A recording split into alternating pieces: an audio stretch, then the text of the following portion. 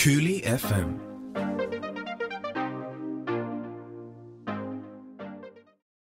Yo, people, you know what it is? Man's recording. This is January 7th, reporting for Coolie FM. My thing's gonna be right down there. Get them added. Along with Coolie FM right here. My thing. You see that? Get them adding.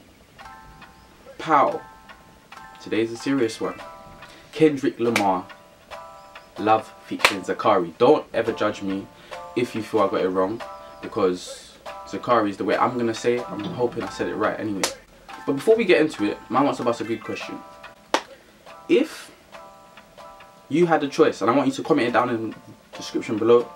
If you had a choice to get rid of one of these artists, they never existed, which one would you choose?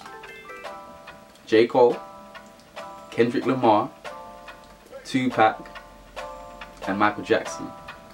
Which one would you get rid of? Never existed. Which one would you choose? Write it in the description below. I want to hear what you lot think. Any of you say Kendrick Lamar, pow! Just go home, go sleep, do something. I don't know, find something to do. Go find a new life to live. I don't know. But at the end of the day, it's the hardest question you probably ever get faced. Forget uni, forget school, forget college, forget marriage. Will you or will you? I do, I do. Forget that. Anyway, without further ado, without further ado, without further ado's and ado's, we're gonna get right into this one. Who's ready, bro? Are you not ready? You're not ready. Come. Bada bing, bada boom. Let's get some volume there.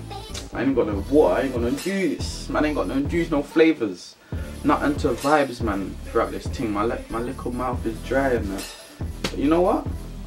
It's only like 3 minute 42. I can get through it. Gotta get through this. Gotta get through this. Hey, gotta get through this. Anyway, let's go.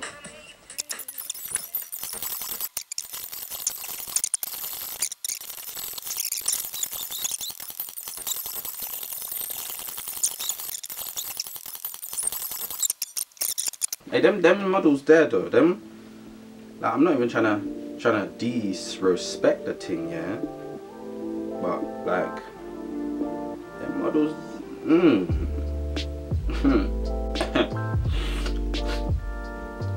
hey, that's crack cocaine and dark chocolate on the side. Which one you going for? But come on, it's crack cocaine and dark chocolate.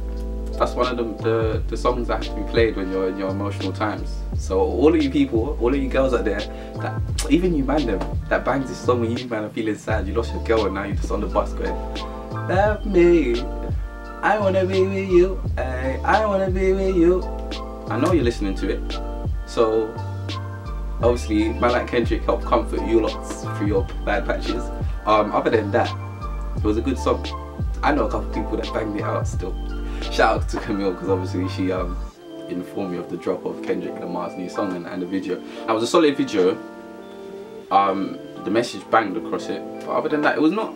I wouldn't say it was majorly flipping like exciting. Obviously, it's not one of those songs. Just a good vibes, just a good chills, just a good feeps. You get me? Ting Like, mad. follow, subscribe.